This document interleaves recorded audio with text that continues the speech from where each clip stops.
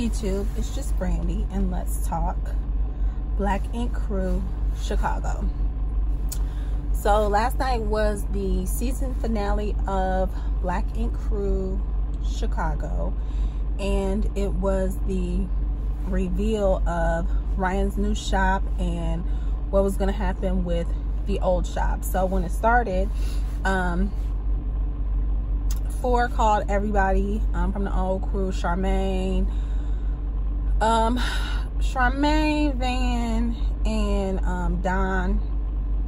I don't think Junior was there, but Junior might have been there too, um, to come into the studio because he's working on his album and he made a new song dedicated to everybody just to show his gratitude for them being for him in the situation in Las Vegas um, because he indicated that he had made up his mind that he was really going to commit suicide and it was them and their concern and their um, you know sitting with him and talking to him and letting him know how much he was wanted and needed and loved um, that stopped him from committing that serious act.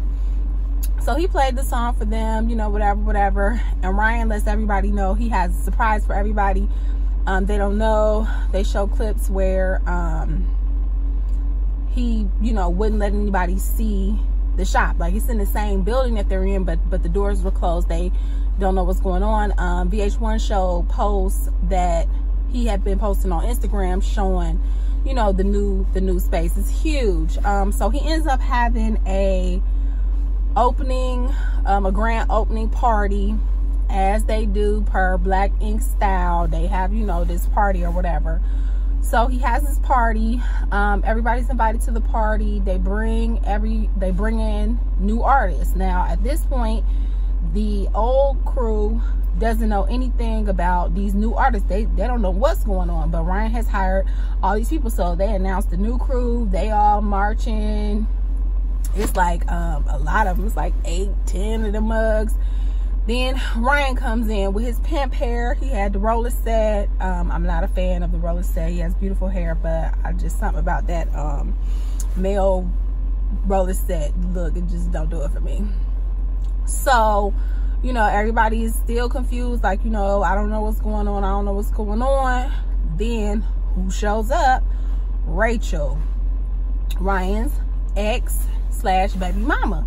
So she comes and they seem real friendly buddy buddy. So Bella asks like, are y'all back together? Like what's going on? Cause they, they take pictures together. Like she up, she throwing glitter. Like they real buddy buddy. So they avoid the question. They avoid the questions. And I know currently because Ryan did an interview on Hollywood Unlocked Uncensored and stated that they are not together. But I don't know if during that time they might have had a mini reconciliation.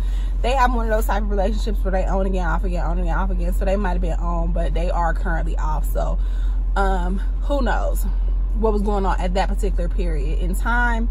Um, Ryan did indicate that at this time he is not going to allow VH1 to film um, but the other shop will remain open which they do have to have something to film. So it's going to be separate. Two nine mags in the same building one where they film one where it's just um, tattooing. And he said that van basically can have that shop. So van's going to run that shop and be the manager of that shop you know and control everything that goes on in that shop which i think is good um, the only other thing was uh, Charmaine said she wanted to expand her brand. She was talking to Nick Bay and he said he thought that she should have an app and he told her it would cost her 30 to 50 thousand dollars to do the app. And she was like but boo like you this what you do. So you know like ain't you gonna do it for me? He was like you don't want anybody to give it to you. You you want to get it the right way because you wouldn't want nobody holding nothing over you no i want it for free. I don't want to come out of pocket no 30 or 50 or you can come out of pocket 30 or 50 so she she um you know cooked some dinner was like rubbing his feet was about to have sex with him and then she presented him with some invoices like um since we invoicing people or whatever here go these invoices for these services that i provide which he promptly ripped up. But I feel her, like I've been, like she said, she been fucking and sucking for three years and she ain't charged a dime uh, and cooking every day and washing clothes. And now you talking about you want 30 to 50,000. He was like, but I got a staff. Well, you know what? You don't have to use your staff because I believe you can do it on your own. Do it as a side project okay? So that was the season finale of black ink crew chicago. Um i think this was a pretty good season. I'm glad to see that everybody was able to come back together this season. Um last season you know it was a lot of drama. Um i think with lily being gone everything will be good. Um the other one that i think needs to go is bella. And then that girl that ryan we haven't seen her in a while the girl that ryan brought in to be the manager of the shop that he before. I don't remember even remember what her name was but she's been mia ever since um he had made don the manager at the time. Um but she needs to go. Bella needs to go. Um charmaine's not really there. Like she don't really do anything else paris. She's just there to be filmed. But um i think that with just junior don van and Phor in the shop it's a small shop anyway. That's really all they have room for in that space. I think with just them in there it'll be a, um, a peaceful place and everybody be able to get along um, and and that's that's really all that it should be. So that's my recap of the season finale of black ink crew chicago. I will see you next week for black ink crew and see what's going on with caesar.